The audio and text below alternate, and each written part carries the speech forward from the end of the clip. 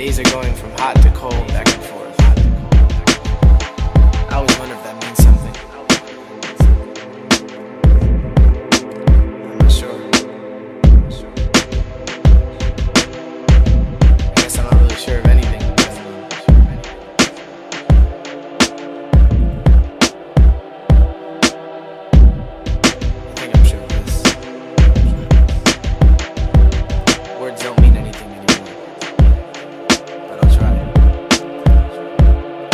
What is honesty if truth isn't behind it? I've been telling people how I see, but I truly think they're blinded, and I try to find it in them, but then I get reminded that nothing lasts forever, that is timeless. Been called the spineless faggot piece of shit, been called the kindest kid behind it all. I find myself against the wall with signs in it, rewind this shit. Remember every syllable I fluctuate. Wanna believe in me now? Too bad you're fucking late. Love turned to hate, now so I create whatever the voice in my brain is asking me to make. Admit that I have changed admit that you were right. And admitting is the first step towards suicide.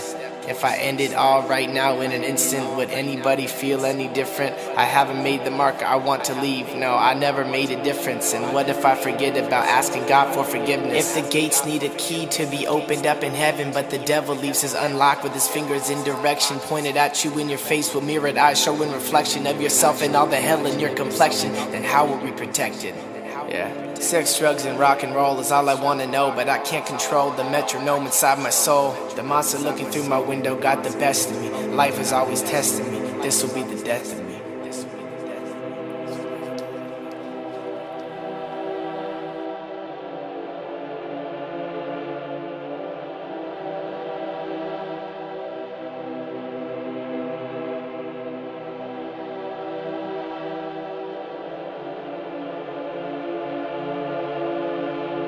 I've used every letter that I ever learned to make these words, but suddenly I don't know how to make them work.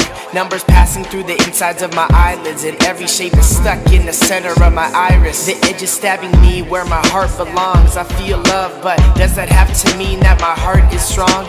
The melody behind me has to speak for itself, because without it, I think I might need help. Have you ever felt like you've been wide awake? For years and days I have, but today I woke up weird and strange. It's the weirdest thing, wish I could explain more in depthly. But how can I explain myself if I have never met me? Files and endless metal cabinets with documented papers that I can pull out like a rabbit. In a black and fabric hat from some magic having faggot. But the words are strangling me like a fast and straightened jacket. I'm speechless.